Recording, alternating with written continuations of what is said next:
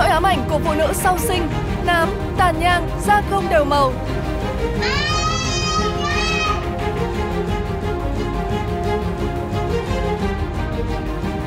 Sinh nở xong, cơ thể đã xuống cấp rồi và lại còn nám với tàn nhang nữa. Mỗi khi mình nhìn hình ảnh trước khi mình sinh bé, mình cảm thấy buồn và tủi thân lắm. Nó làm cho mình bị trầm cảm. Chỉ lo ông chồng mình chán cơm thèm phở thôi. Liệu trình cái collagen này á, với mình là ngoài sức tưởng tượng luôn Thật sự không thể ngờ. Quá tuyệt vời. Liệu trình này có trị nám tận gốc không em? Phương pháp cấy collagen tươi tại Linh Anh được điều trị tận gốc đến 95% là kỹ thuật dùng 12 đầu kim siêu vi điểm bắn sâu tinh chất collagen đặc trị nám, giúp phá hủy sắc tố nám sạm da sau sinh do nội tiết tố cơ thể thay đổi khi mang thai, đồng thời gây cản trở quá trình hình thành lại các hắc tố này nhưng mà điều trị có nhanh không em?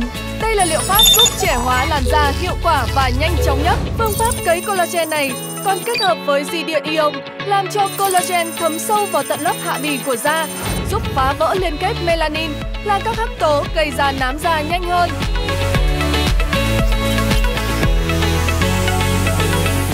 Nói trị hết nhưng mà mình có bị tái lại không em? Tinh chất collagen cung cấp tinh chất độc quyền giúp ngăn chặn nám quay trở lại, giữ trắng da từ bên trong và bảo vệ da khỏi các tác hại từ tia cực tím và môi trường bên ngoài. Bây giờ vợ mình hết nám, ngày nào đi làm về cũng thấy vui, thấy vợ mình vui, mình cũng vui lại. Trời ơi, hồi xưa ba hỏi mình dùng biết bao nhiêu mỹ phẩm trị nám, rồi bà dùng lên mặt mà có thấy hết đâu. Bây giờ nhìn bả đẹp quá trời luôn á. Trước đây á, trời ơi, chị Ngọc là hoa khôi của phòng mình luôn đó. Nhưng mà từ khi sinh em bé xong à, khi đi làm lại thì mình không thể tin được là chị thay đổi nhiều như vậy. À, mặt bị nám quá trời luôn.